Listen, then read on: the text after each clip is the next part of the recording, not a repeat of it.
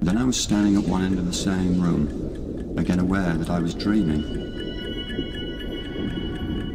I spoke to a woman I didn't know. She told me she was a training college lecturer. Oh no, you're a figment of my imagination, I declared, and reached out to grasp her arm. At this, I felt the most tremendous sense of shock. This was probably the most vivid moment of the dream. She was so real, solid, warm, and fleshy. I remember thinking, it's exactly like holding a living arm. Yet I knew I was dreaming the contact.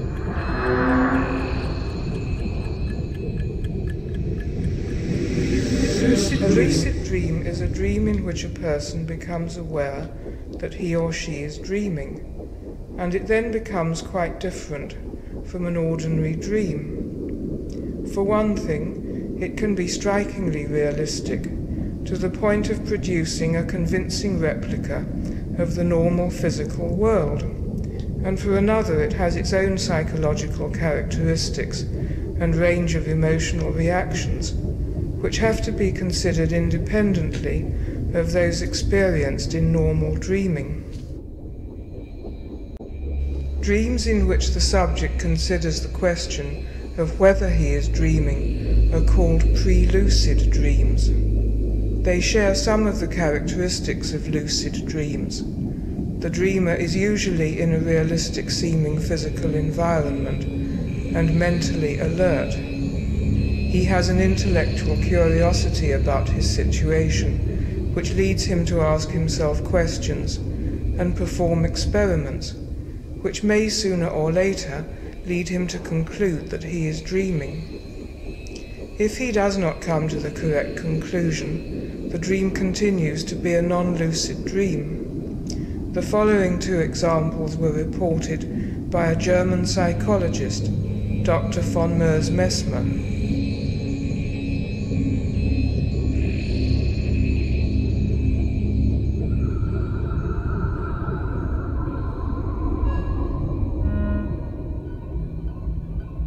a small river I am walking along a narrow path. I do not know the country, the place is strange to me. A woman is coming towards me and a large object like a hat box falls from her grasp into the water and floats.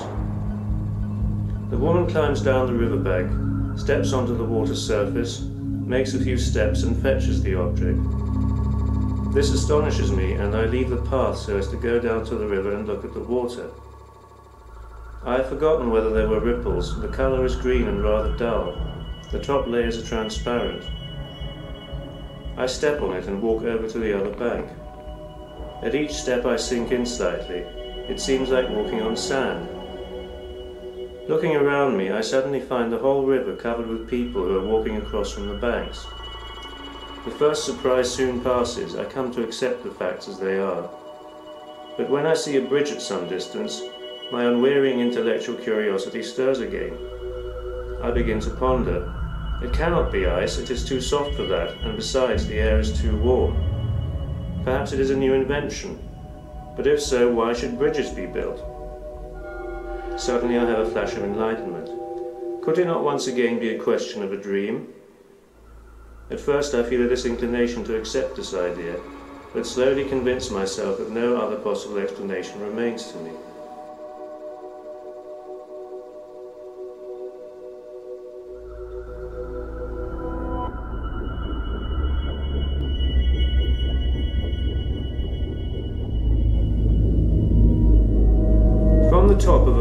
Flat unknown mountain, I look out over a wide plain towards the horizon. The thought occurs to me that I do not know at all what time of day it is. I examine the position of the sun. It is almost vertically overhead in the sky and its usual brightness. This surprises me as it occurs to me that it is already autumn, and a short time ago it was much lower in the sky.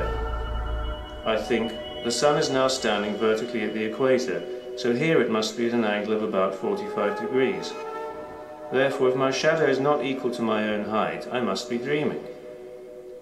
I look at it. It is about 30 centimeters long. It costs me a fair effort to regard the whole almost dazzlingly bright landscape with all its villages as an illusion.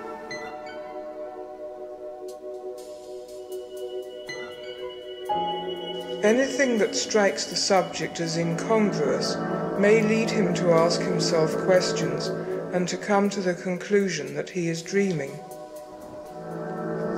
However, the imagery in the dream may modify itself as if in answer to the subject's questions, and he may fail to conclude that he is dreaming, as this dream reported by the physicist Ernst Mach demonstrates. At a time when I was much occupied with problems about space, I dreamed I was walking in a wood. Suddenly, I noticed the displacement of the trees was insufficient in terms of perspective, and deduced from this that I was dreaming. Immediately, the deficiencies in the displacements were made good. Then again, in another dream, I saw in my laboratory a glass beaker filled with water, in which a candle was steadily burning. Where does it get the oxygen? There's oxygen absorbed in the water, but where do the gases which result from combustion come away? Now bubbles began to rise from the flame, and my mind was set at rest.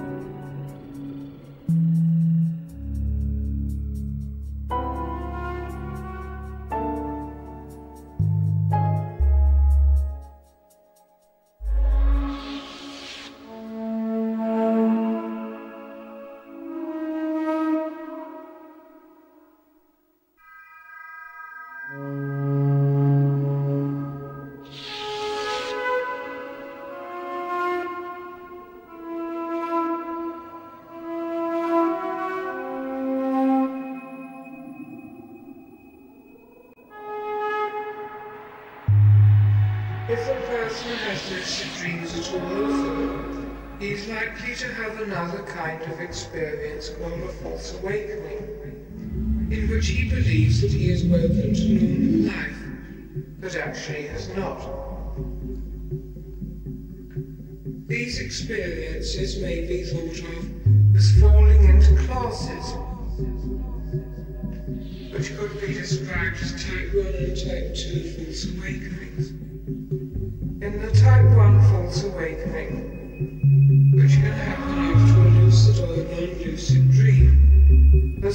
seems to wake up and may remember his previous dream and wonder whether he is still dreaming. Still dreaming. He may seem to get out of bed, wander around and examine his surroundings critically. If he correctly concludes that he is dreaming, this may be the start of a lucid dream.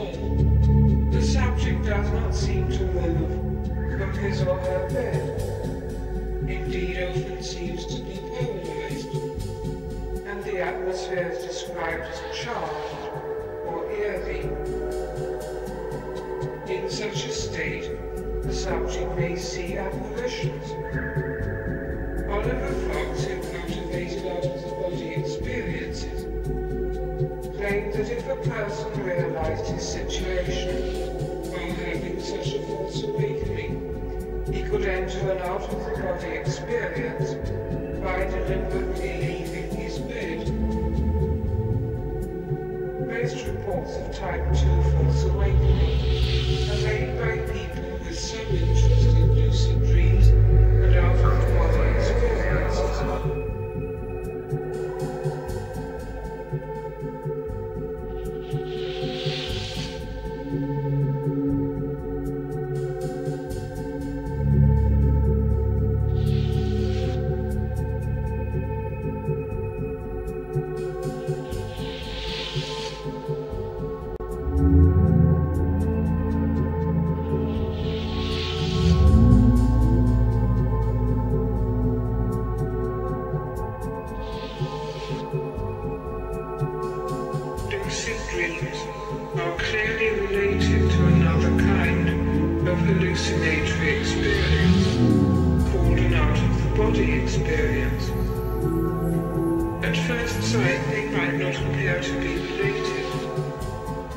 because the typical lucid dream happens when a person is asleep and the typical out-of-the-body experience happens when he or she is awake.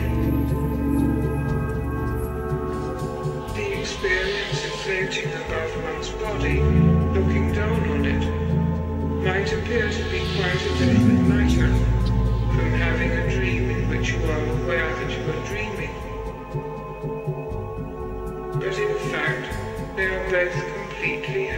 hallucinatory experiences, and they both provide a person with a very realistic quasi-environment.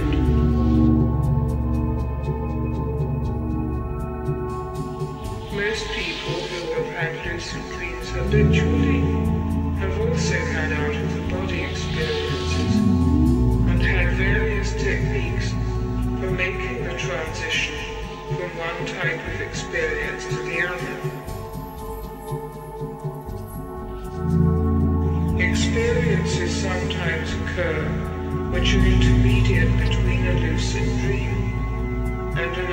out-of-the-body experience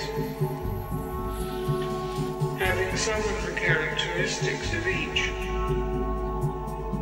and being difficult to classify as one rather than the other. An example of this is a dream of the Marquis d'Hervey de Saint-Denys, in which he visited the moon.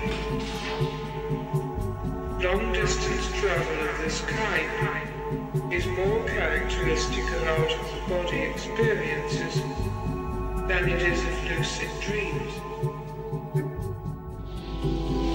Last night I dreamt that my soul had left my body and that I was travelling vast distances with the speed of thought. I first of all found myself among a tribe of savages where I was present at a ferocious battle. However, I was not in the slightest danger, since I was both invisible and invulnerable. From time to time I looked at myself, that is to say, towards the place where my body would have been if I had had one, and I was able to assure myself that I no longer had one. I thought of visiting the moon and immediately found myself there. I saw volcanic soil, extinct craters, and many other details, which were evidently the reproduction of things I had read or engravings I had seen. But they were all strangely enlarged and brought to life by my imagination. I was perfectly aware that I was dreaming, yet was far from convinced that there was nothing veridical in what I saw. The admirable distinctness of everything I looked at made me wonder whether perhaps my soul really had temporarily quitted its terrestrial prison. If this was really the case, it would after all be no more marvellous than many another mystery of creation. I thought of various opinions of the ancients on this subject and remembered the following passage from Cicero. If someone had ascended to the heavens and had a close view of the sun, the moon, and the stars, this would nevertheless give him no pleasure if he had no one to whom he could recount it.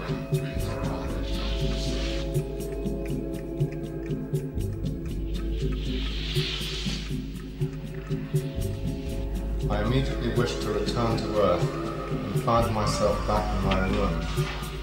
For a moment I had the strange impression of looking at my sleeping body before taking possession of it again. Soon after that, I dreamt that I got up and pen in hand was writing a minute account of all that I had seen. Finally I really wake up. Almost immediately Innumerable small details of my experience, which a moment before had been perfectly distinct, vanished from my memory.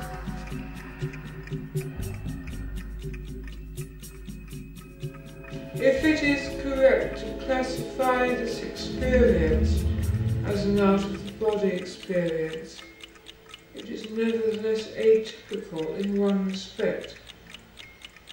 It is unusual for the subject to imply that his out-of-the-body experience, even if it occurred during sleep, was subsequently subject to the same sort of amnesia as a non-lucid dream.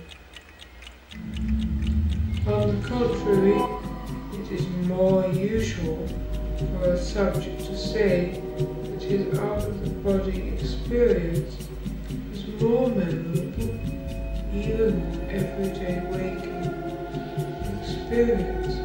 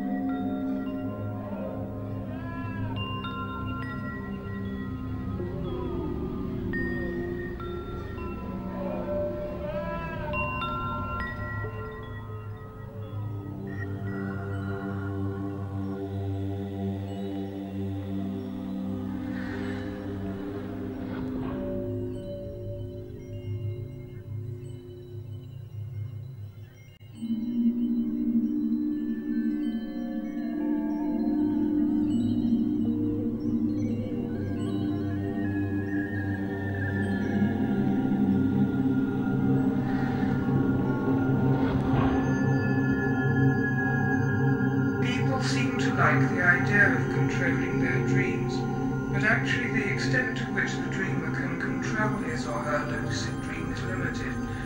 It is particularly difficult to change the scene of a dream, and lucid dreamers have evolved a variety of techniques for doing this, such as covering their eyes and their hands in the dream, while willing the scene to change and spinning on the spot, also while willing the scene to change. One habitual lucid dreamer found it necessary to use a television set for this purpose, so he had to try to find a house in his dream in which there might be a television set, and if the dream provided one which was in working order, he would adjust the controls until the picture on the screen conformed to the place he wished to go to, and then he could step into the screen and make the required transition. Direct attempts to change the scenery may result in effects such as those in the following dream, in which the dreamer was on a tube train and wished to find himself in Kew Gardens.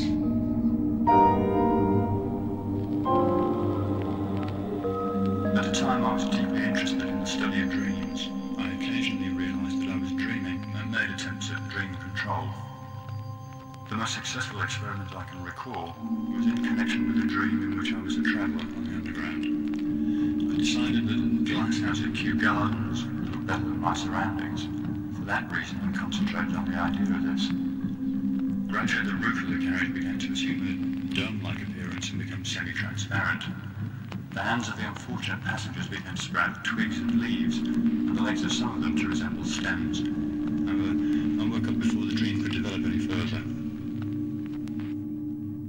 Lucid dreamers are sometimes successful in such enterprises as changing the colour of the sky or altering the season in the place in which they find themselves.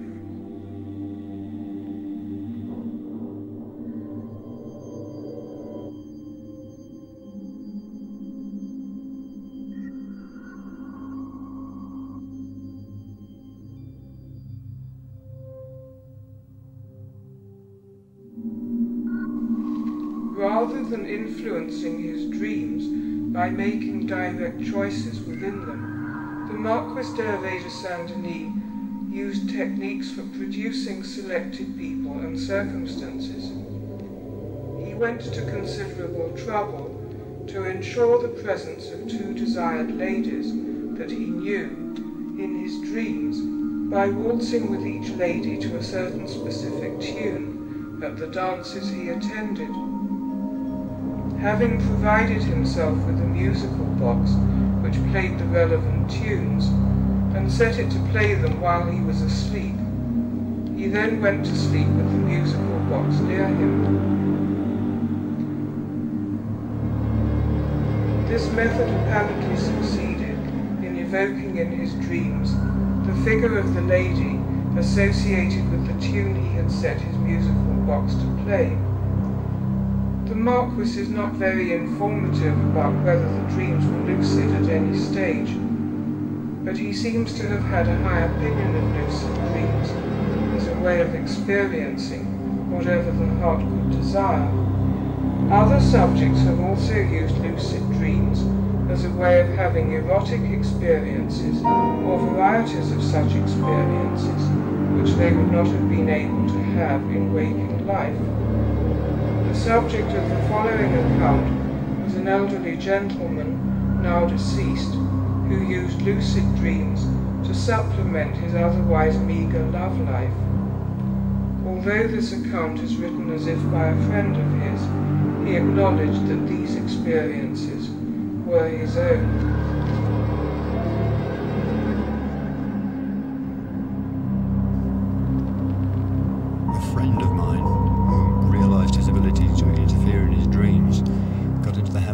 Good-looking girls in his dreams and disrobing them. He reasoned that as they were merely the products of his own mind, no harm could be done. If this is not so nice, blame him, not me. Anyway, on the first occasion, he dreamed of a girl whom he knew and proceeded to undress her. Another girl, a very beautiful, came along, voluntarily stripped and lay down. As the papers put it, intercourse took place, and he woke up with an orgasm. According to him well, I believe him, the tactile thermal sensations were just as real in the sense of a complete duplication as the waking experiences would be. As far as I can remember, he had a few of these dreams, and then the superego seemed to intervene, and no more ladies enlivened his nights when he was aware that he was dreaming. Alas.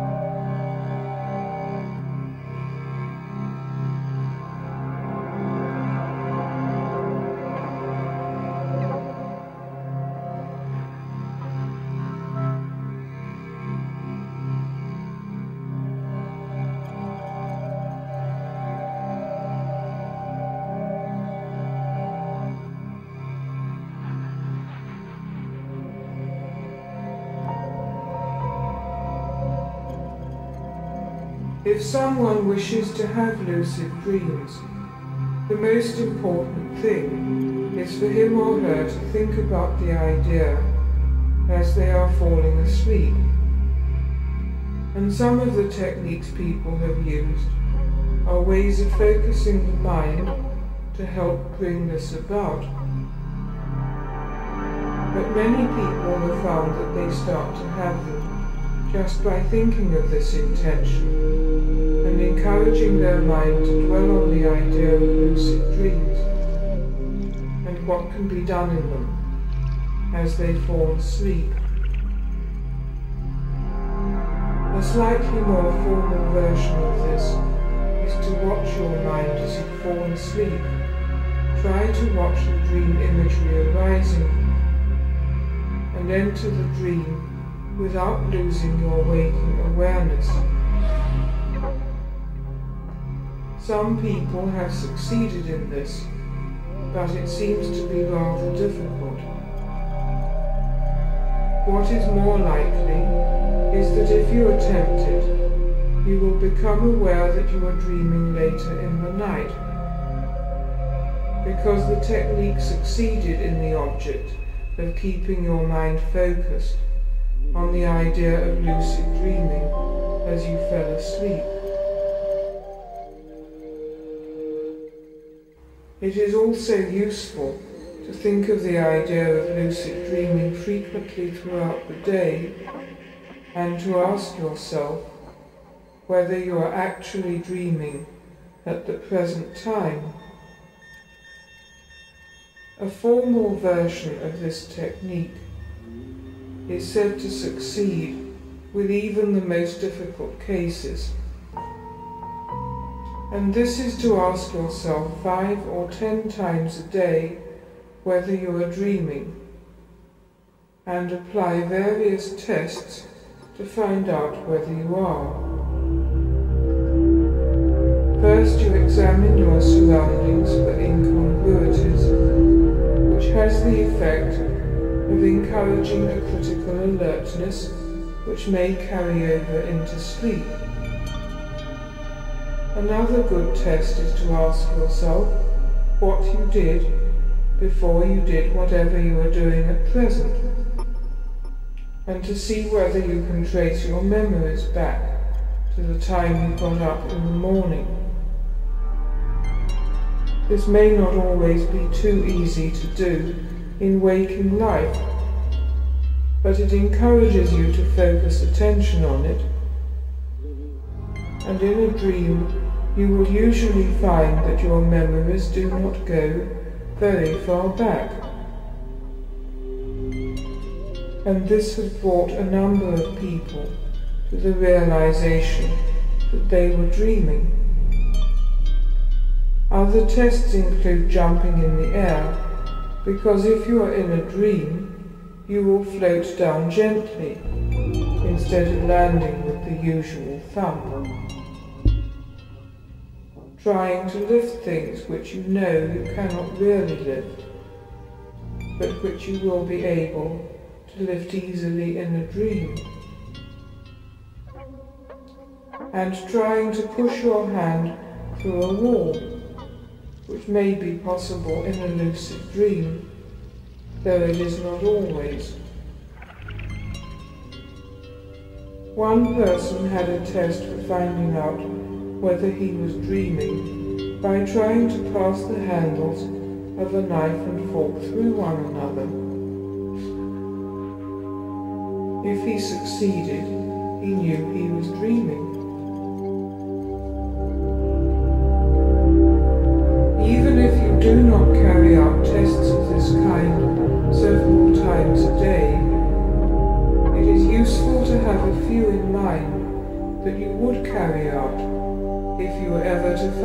In a pre-lucid dream in which you were not sure whether you were dreaming or not. The early morning is a good time for having lucid dreams and several lucid dreamers have recommended that when you first awake, you should keep yourself awake by reading a book getting out of bed to ensure mental arousal, and then going back to sleep with the intention of having a lucid dream. Remembering a non-lucid dream which you have just had, and thinking of how it would have been if you had known it was a dream at the time, is a technique which some have used. But really the point of this seems, as usual, to be mainly to focus the mind on the idea of having a lucid dream and what it is like to have one.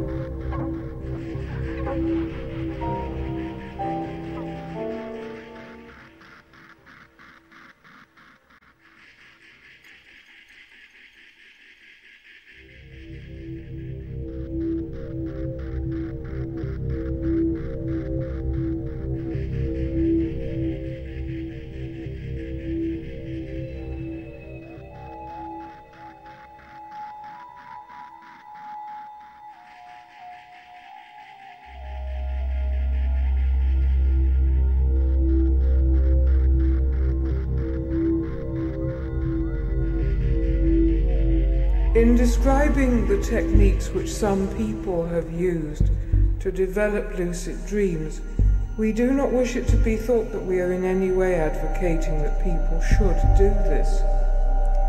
There have been suggestions that it might be bad for people to become too interested in their dream life, which might lead to their losing contact with reality, and also that people might be depriving themselves of the benefits physical and psychological, which may be produced by sleeping with only the normal sort of dreams.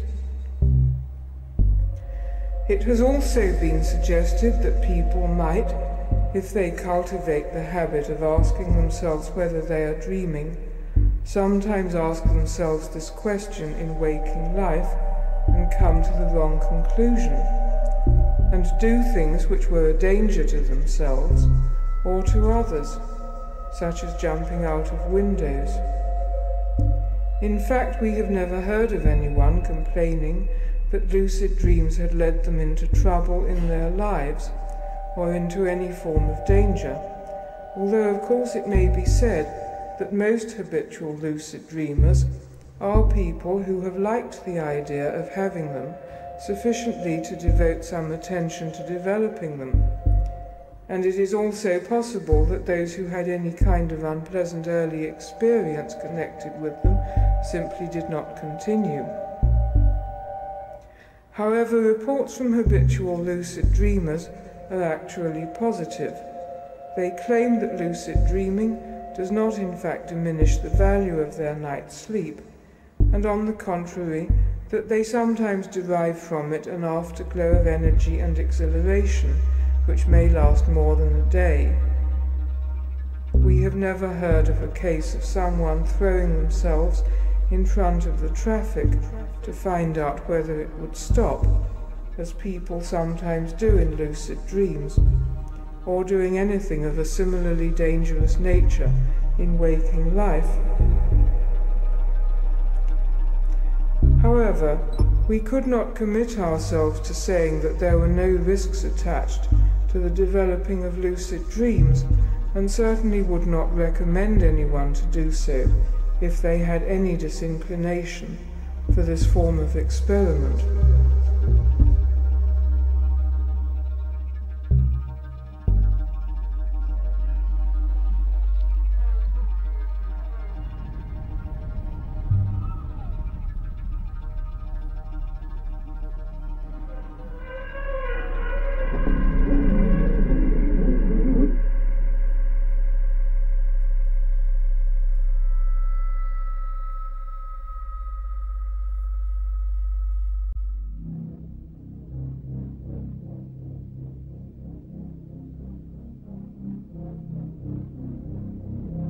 Fact, for many people, their first experience of lucidity in a dream has occurred in a nightmare, in which the dreamer recognizes that he is dreaming, and uses this recognition to turn the nightmare into a less unpleasant dream or to awaken from it.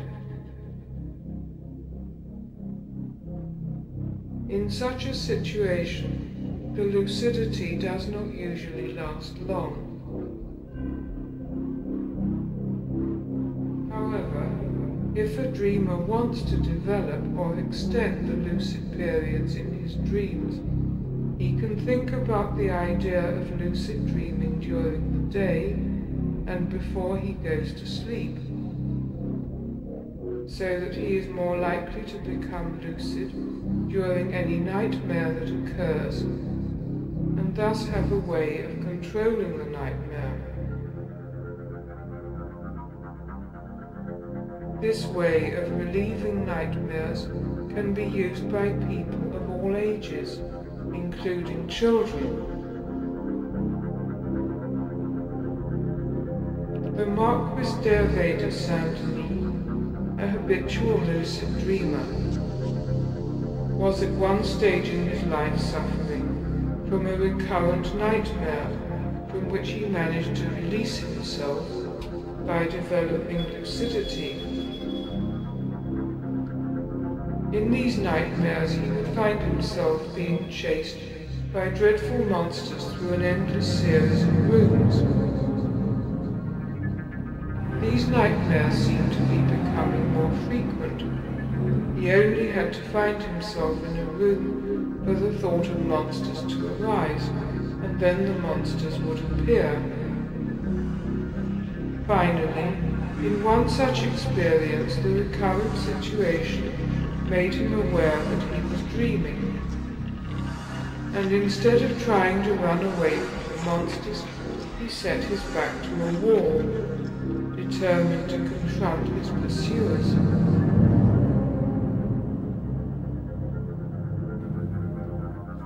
I stared at my principal assailant. He bore some resemblance to one of those bristling and grimacing demons which are sculptured on cathedral porches. Academic curiosity soon overcame all my other emotions. I saw the fantastic monster halt a few paces from me, hissing and leaping about. Once I had mastered my fear, his actions appeared merely burlesque. I noticed claws on one of his hands, or paws, I should say. There were seven in all, each very precisely delineated, the monster's features were all very precise and realistic. Hair and eyebrows, what looked like a wound in his shoulder, and many other details.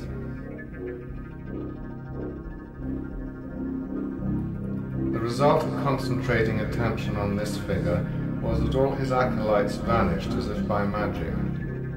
Soon the leading monster also began to slow down, lose precision, and take on a downy appearance. He finally changed into a sort of floating hide, which resembled the faded costumes used as street signs by fancy dress shops at carnival time.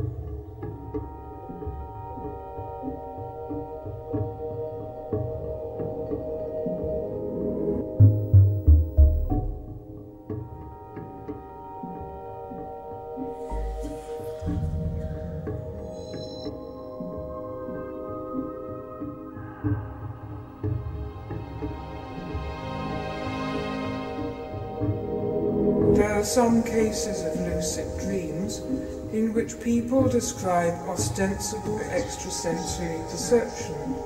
That is to say, they seem to become aware of events at a distance, of which they could not have had any normal knowledge. These accounts are anecdotal. Nevertheless, reports of this kind are persistent, both in relation to lucid dreams and to out-of-the-body experiences. The following account by Oliver Fox describes an experience which, if it is to be taken at face value, involves a false awakening on the part of the narrator and either a lucid dream or more probably an out-of-the-body experience on the part of his girlfriend whom he called Elsie. Elsie viewed my experimenting with extreme disfavour. It was wicked, she felt, and God would be seriously angry with me if I persisted. Anyhow, she didn't like it, and that was that. And I, with all the painful seriousness of youth, explained to her that she was a narrow-minded little ignoramus and didn't know what she was talking about. Did she even know the meaning of astral projection? Yes, said Elsie with great emphasis, I do. I know more than you think. I could come to you tonight if I wanted to. I laughed rudely and immoderately. She knew no more of occultism, theoretical or practical, than I of needlework. Elsie, small blame to her, lost her temper. Very well, she exclaimed. I'll prove it. It's wicked, but I don't care. I'll come to your room tonight, and you shall see me there. All right, I replied, not in the least impressed. Come if you can. Then we ended our quarrel, and presently I walked home, over a mile from Elsie's. I straightway forgot her in reading for my exams. I went to bed late and very tired. Her boast had seemed so childish, I never gave it another thought.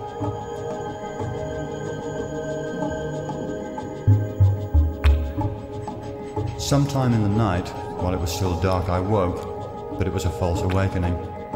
I could hear the clock ticking and dimly see the objects in the room. I lay on the side of my double bed with tingling nerves. Something was going to happen. But what? Even then I didn't think of Elsie. Suddenly, there appeared a large, egg-shaped cloud of intensely brilliant bluish-white light. In the middle was Elsie, her hair loose and in her nightdress. She seemed perfectly solid as she stood by a chest of drawers near the right side of my bed. Thus she remained, regarding me with calm but sorrowful eyes, and running her fingers along the top and front side of a desk which stood on drawers. She didn't speak. For what seemed to be some seconds, I couldn't move or utter a word. Again, I felt the strange paralysis which I've previously noted. Wonder and admiration filled me, but I wasn't afraid of her. At last, I broke the spell. Rising on one elbow, I called her name. and she vanished as suddenly as she'd come. It certainly seemed to me I was awake now. I mustn't note the time, I thought, but an irresistible drowsiness had overwhelmed me. I fell back and slept dreamlessly until morning. The following evening, we met and I found Elsie very excited and triumphant. I did come to you, she greeted me. I really did. I went to sleep willing that I would, and all at once I was there. This morning I knew just how everything was in your room, but I've been forgetting all day. It's been slipping away.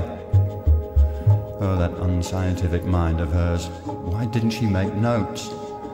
Well, despite her impatience, I wouldn't say a word about what I'd seen until she told me all she could remember. So although this experience can never be absolutely convincing to her or anyone else, it is at least to me.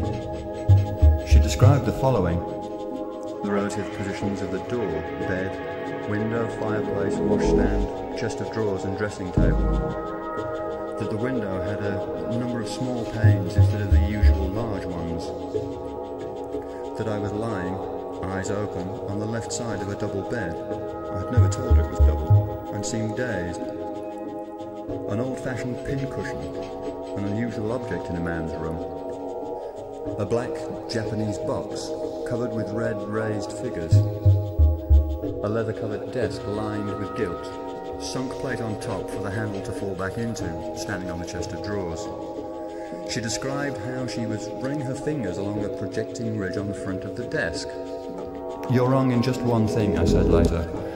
What you took for a ridge was a gilt line on the leather. There's no projecting ridge anywhere.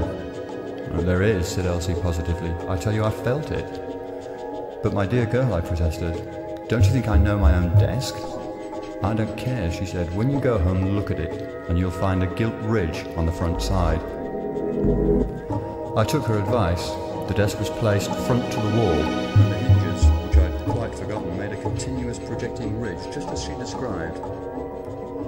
Owing to its position, she'd naturally mistaken the back of the desk for the front. Though elated by her success, she still maintained that such experiments were and I could never persuade her to come to me again. I'm positive that Elsie, in the flesh, had never seen my room, for as she had never visited my home, she couldn't have had a peek without my knowledge, nor could she have obtained a description from any common friend. I'm also quite sure I'd never told her about the pincushion, Japanese box, or the desk.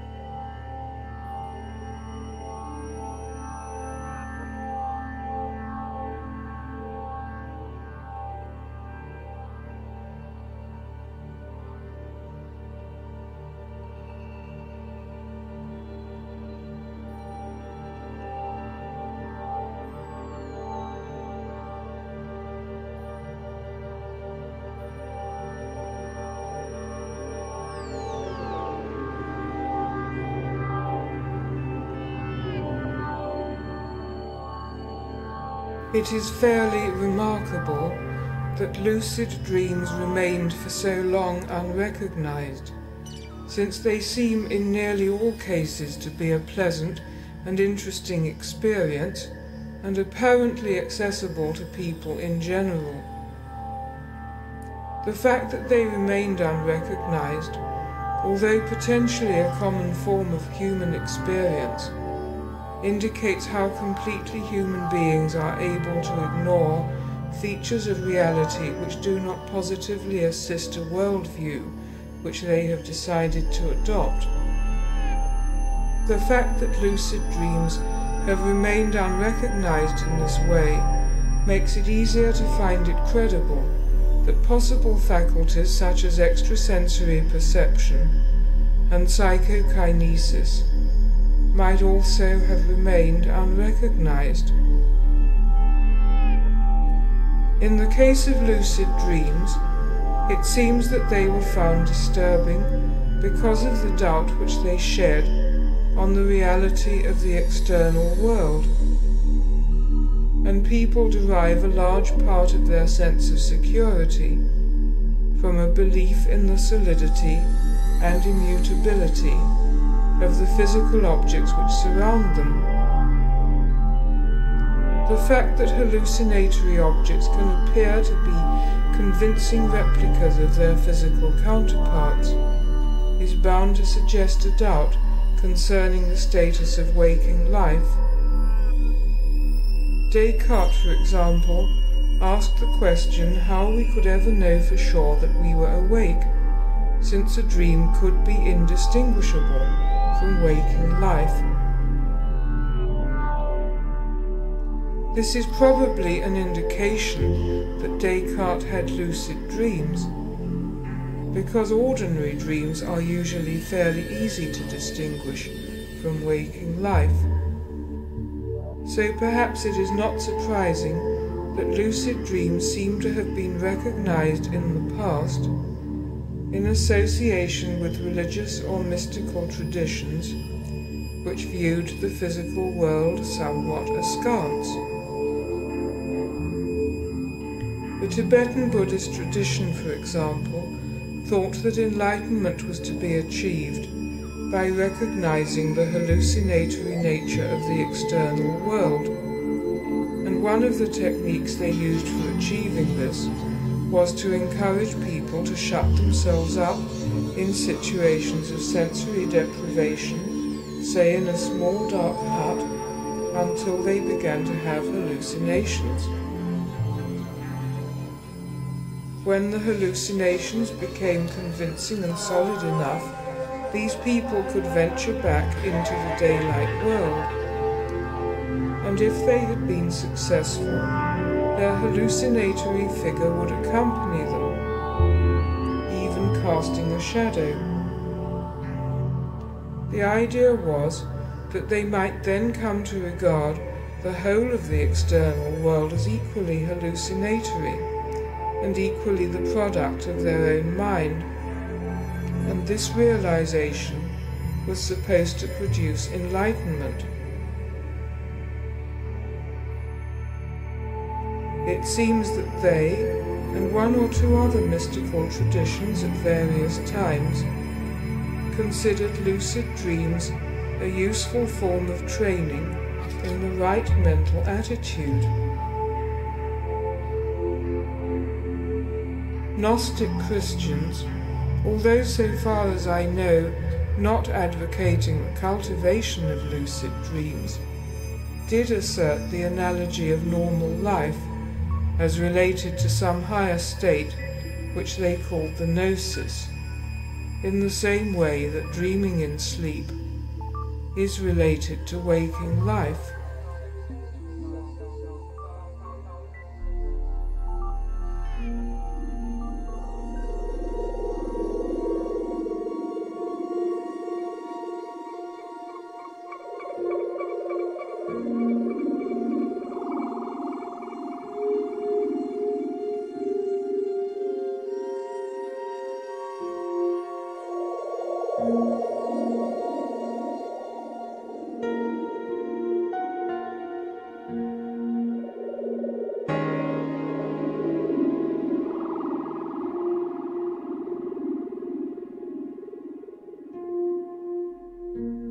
Most people live as if they were sunk in sleep and found themselves in disturbing dreams.